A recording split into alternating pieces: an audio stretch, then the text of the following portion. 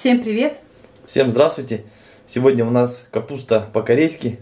Как мы обещали в предыдущем видео, и для этого нам понадобится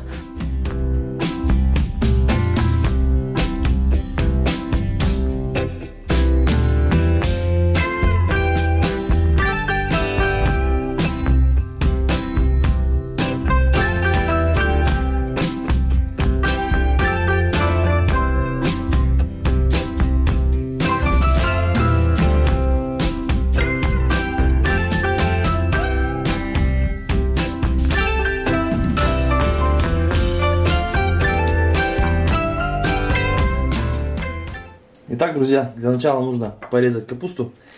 Как вы видели, половина у нас. Ложим ее на срезанную часть. И примерно по 3 сантиметра вот такими кусочками. Мужу понравилось резать капусту, Нарезаем. хотела я резать, не дал. Ну. Капусту тяжело резать. Ну да. Еще пальцы отрежешь себе, потом я себя буду виновным чувствовать. Вот такие части берем и потом ложим.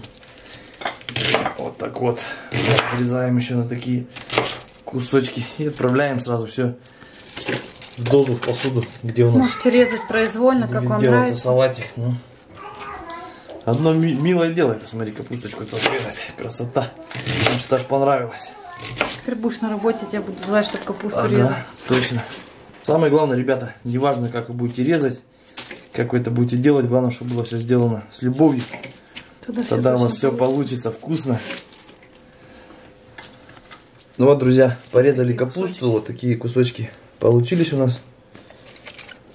Теперь добавим соль и сахар.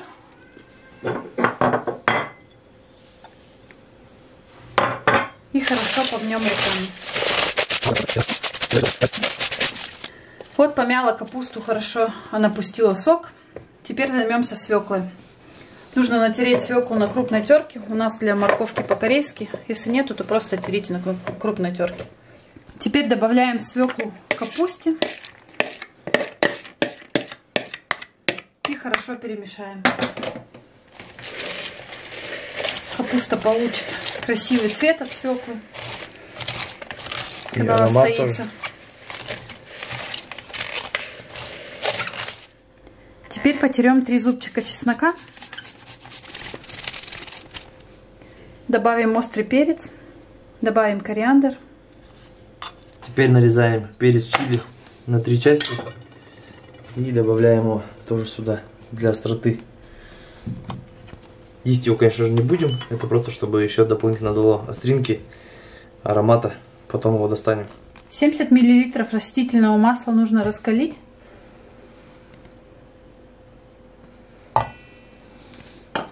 И когда масло раскалится, добавим капусте. Мы не просто так добавляли все специи, так в серединку, не рассыпали по всему, потому что потом поливаем раскаленным маслом. И как раз все специи дадут свой запах, аромат.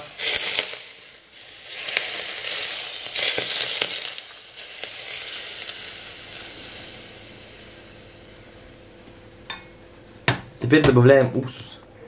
На следующий день капуста настоится и попробуем. Если будет мало, то добавим еще. Теперь нужно все хорошо перемешать. Итак, капуста по-корейски предварительно готова. Нужно сейчас на- накрыть крышкой. Оставляем на ночь постоять в холодном месте. И потом на утро будем пробовать, чего не хватает. Каждый смотрит сам по своему вкусу. Соль, сахар, уксус. Кто как любит, сам добавляет, чего кому не хватает. Все перемешивайте и можно кушать. Капуста даст свой сок, настоится. И завтра попробуем. Цвет станет еще фиолетовее, свекольнее, но насыщенный. Ну вот, друзья, как мы говорили, оставляли капусту на ночь в холодном месте. Сейчас добавили еще и соли, и сахара, и уксуса. Все по своему вкусу. Сколько мы в итоге, в общем, всего добавили на полтора килограмма вот этой капусты, что у нас была, напишу под видео к описанию. Так что наша капуста по-корейски готова теперь. Сейчас заценим. Запах такой, аромат от нее обалденный. Цвет насыщенный, настоялся. Мгм. Хрустит. М.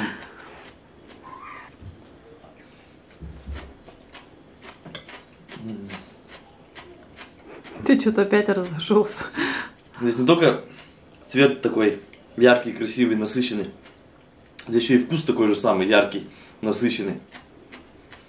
Объедили, да? Прям вот можно брать чисто вот капусту и только его как блюдо кушать без ничего больше.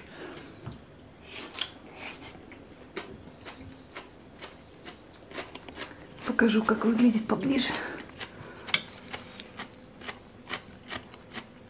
Пока папа наш хрустит.